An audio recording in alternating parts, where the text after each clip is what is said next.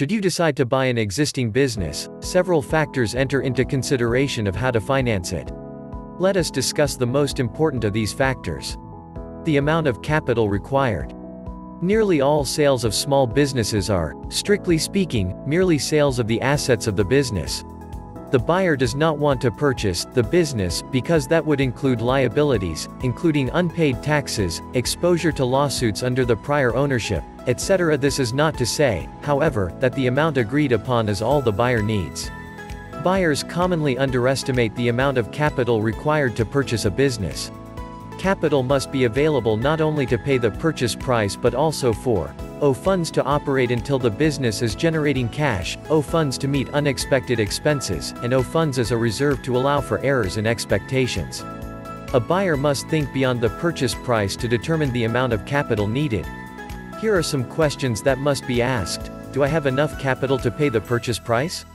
Do I have enough capital to support 1 to 3 months operations such as payroll and other cash expenses while the business reaches a self-supporting stage? Do I have some extra capital to cover needs I may have overlooked, perhaps 10 to 15% of the purchase price? The type of capital required. The buyer must decide how much of the selling price will be covered by equity capital, i.e. investment in the business by the owner or owners, and debt capital, borrowing that must be repaid. If a combination is to be used, the equity capital provides a margin of safety for a lender. The greater the amount of equity capital, other things being equal, the easier it is to get debt capital.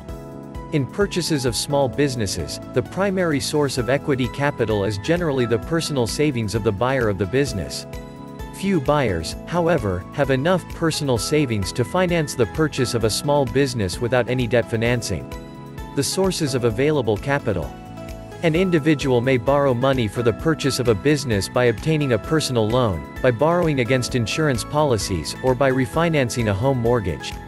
These debts are not direct debts of the business, but the debts of a small business and the personal debts of the owner cannot be completely separated. Banks and loan companies are the principal institutional source of debt capital for small businesses. Do you need a business loan, or a line of credit? Don't wait.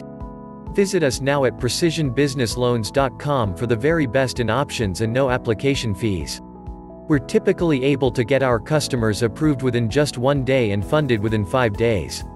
Our approval rating is 94%. Visit precisionbusinessloans.com today.